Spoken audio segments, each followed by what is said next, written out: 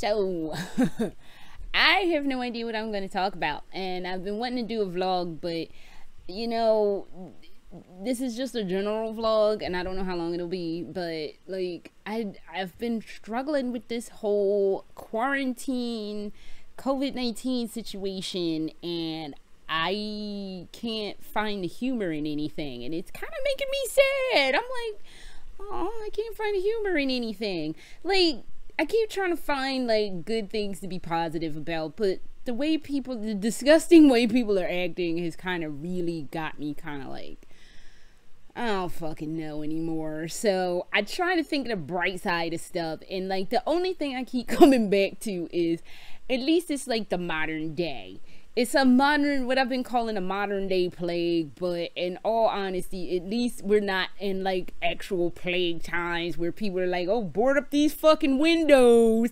close up all the doors and shit. Let's just bleed out the bad blood because your humors are all fucked up like I'm trying to like like be thankful we're not in that situation. Or we gonna put the bleeding was not only to bleed out the the bad blood, but it's also breathing holes. It'll help you breathe better. So I keep going back to at least we have that going for us, but it's that's a pretty fucking low bar when like given the situation. But that's like the brightest thing I can think of right now to keep me from like going off the deep end of the pool. I don't like going out. I know you're not really supposed to go out unless you need to. The last time I went out was last week when I did that video game vlog, and I said it was weird out there. I think I went out one other time to continue to do a little bit more shopping because I needed a like I needed a few vegetables. It was still weird. It, in fact, it got we- no. It wasn't to get vegetables. Today was supposed to be my husband's surgery day. His surgery has been postponed. So after like going to the hospital basically. That was why.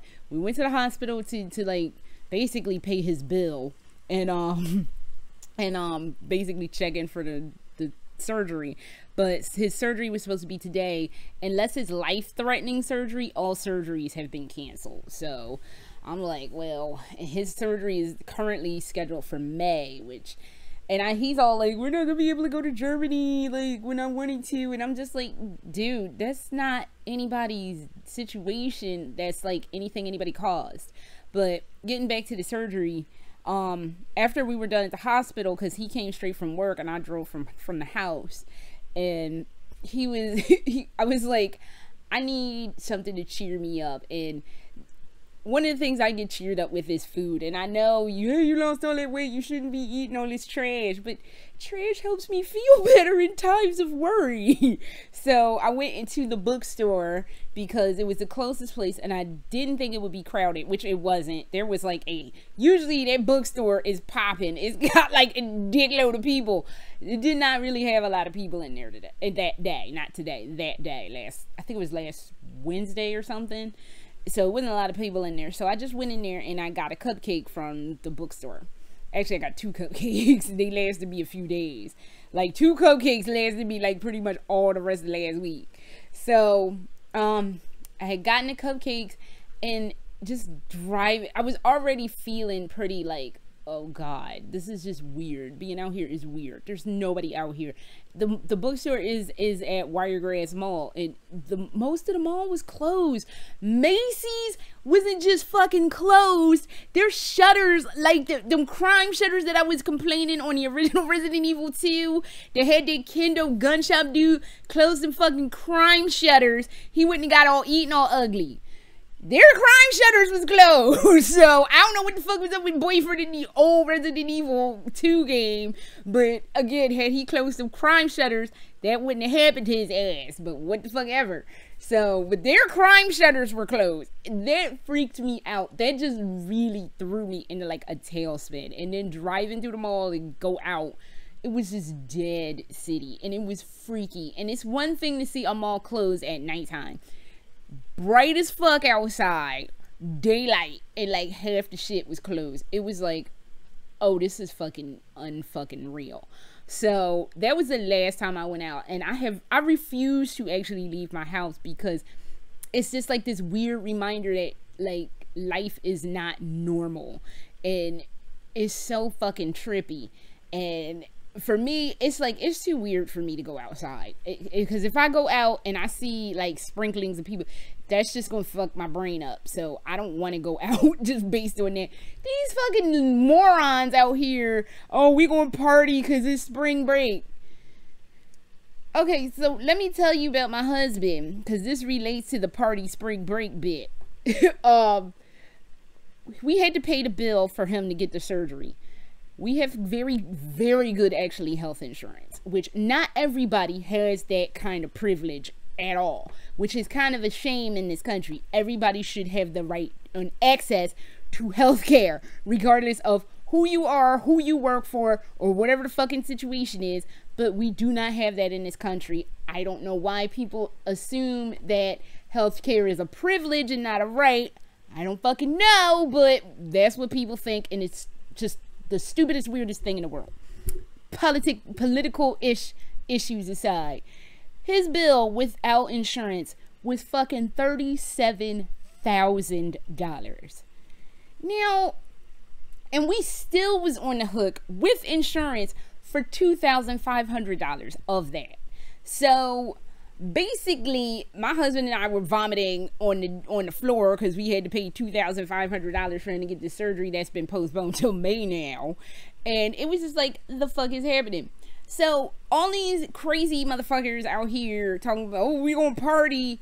I hope you have some health insurance because this is a respiratory situation with this disease and the bill coming if my husband's surgery was $37,000 I'm sure life support is gonna be like hundreds of thousands of dollars if you ain't got no insurance you don't know how to work your health insurance you're on your parents insurance you don't have no job no prospects no friends no you just went to party.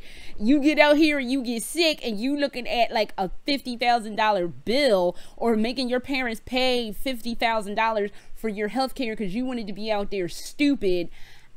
I don't get it why are you putting yourself at a financial disadvantage that hardcore for a second of partying?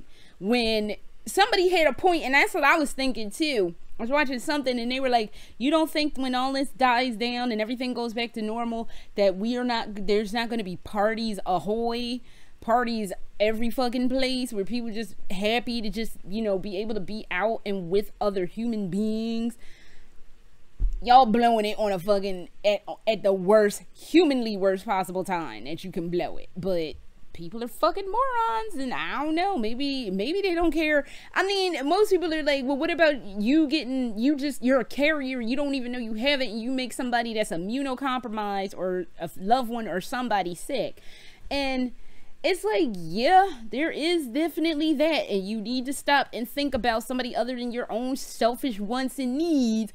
But who you think is going to pay for your health care when you ultimately get sick because you done fucked around? And it's not fair to ask your parents to pony up their dough because they weren't probably the ones to tell you, oh, go to spring break. That's just a fucking amazing idea for you. No, they're probably like, uh, you probably need to sit your ass in the house and like not, but oh fuck that, I'm an adult. I can I can fuck up my life. Look, if there was my kid out there talking about they were going to spring break, and I'm dude, you don't need to be fucking around, and they fucking around, got sick. You're an adult. That's your bill. I don't know what to tell you. That's your fucking bill. You got to deal with this shit on your own. So, but you believe, like, ain't no love, motherfucker. You knew. You took that risk. You taking the financial hit on that shit. I'm not the one having to deal with that. I told you bring your ass back to the house. You fucked around, so I don't know what the fuck to tell you. And yes, I'm sure that's just cold.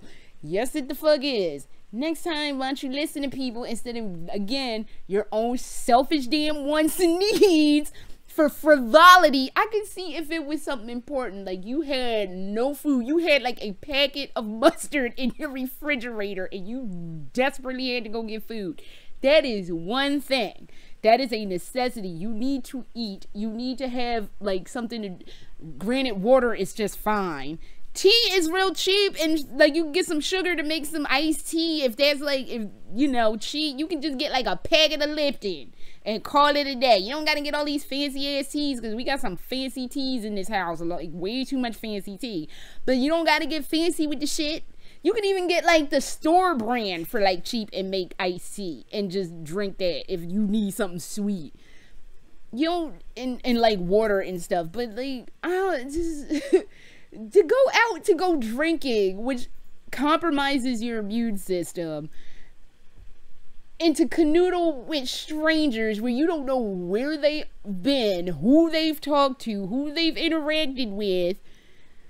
You're just trifling. You're trifling. Stop being trifling. And like I said, if you can think of it on this perspective of you're gonna infect somebody else who did not ask for that shit, think of the financial burden that it's going to be. And if I was, like I said, if I was a parent, it would be on you. I would be like, that's not my bill. He's your kid. Yes, but that child is over 18, which makes them a legal adult. Harangue them for the money because you're not getting it from me. Because you took a stupid risk. You deserve all the consequences that come with this stupid risk. So, and see how that spring break went from like, oh, you got an Airbnb spot for like the week for like $700. See how that spirals into a $50,000 medical bill. See how far that fucking gets you. And then when you graduate, you already probably gonna be on the hook for all these student loans. So good luck with your financial future. Fucking around, partying during a time when you need to be in the damn house. I can understand you have a problem with your family. Find somewhere else to be that's not in a horde of people. Just be somewhere safe and not trifling. so it's just such a weird time. I just don't I just I can't I, I almost can't mentally comprehend it. And I I miss going to tea parties. I miss hanging out or not that I hung out. I mean, I was pretty much social distance before this. Like, I just went out to go grocery shopping, maybe every once in a while to get out the house. But now I'm just in the house and it's slowly driving me crazy. But the thought of going out of the house to see desolation and nothingness is like, fuck that. I don't need that shit in my life. So, I will take being in the house. I haven't, like I said, I haven't left since my husband since the cupcake situation and I don't like I said I think about my husband's like you want to go grocery shopping with me because we needed vegetables because we eat a lot of damn vegetables in this house. I was like we gotta get some vegetables. You want you want to come with me? I was like I gotta put the dog, the baby in a crate. The it was the Raven Pepper. I'm looking at her now. She's kind of in trouble because she was fighting Shyla a little bit ago because I was trying to play with both of them, and she wanted to be the queen of the house. So I had to put Shyla out of the room while I did this and made her sit over there quietly because she was being bad. she was trying to attack my Shyla, and that's not gonna work. So now she has to sit in here with me till I'm done. But I was like, I gotta put the child away, and I don't want to put her in a crate, and, and I gotta like coax her into the crate. It's like I was like, it's a whole situation. But the truth of the matter is, I don't like going out the house because it's fucking weird, and I don't want to see all that weirdness because it does terrible things to my mental well-being. And most of the time, I'm hanging by a very shrill thread as it is. So no, I don't want to go out the house because at least in the house, I don't have to kind of think about it, but once I go outside, it's like, oh, fuck me with a spoon. This is not nice. Like I said, seeing a closed ass mall in broad ass daylight is fucking mentally disturbing. So, and I don't want to look at that ever again in life. So let's just hope this. Eh, they said we're not even through the thick of it yet, and I'm just like, oh, son of a fucking bitch. And I'm like, ugh. This is gonna be a hard ass couple of months, but we'll pull through it. we will pull through it. We will get through this all together because there is no other alternative. And for those of y'all who are like last year, oh, 2020 can't be humanly possibly worse than 2019. 2019 for me wasn't terrible. It was it was like I said, it was the best of times, it was the blurst of times. But fucking 2020 looked at that shit was like, I will see your calamity and I will fucking raise you a plague, motherfuckers. And everybody was like, fuck, I fold. 2016 was like, I fold. Shit. 2019 was like, oh, I'm out, motherfucker. And it just scooped all the gems up and was like, ha ha ha. So Don't know. This is, this is rough, and this is only month three. We got nine more to go, so I don't know. It's gonna be a rough ride this year. It's like, goddamn. And I don't know. So that is all I have because I'm slowly going insane. So I will see y'all guys at another point later.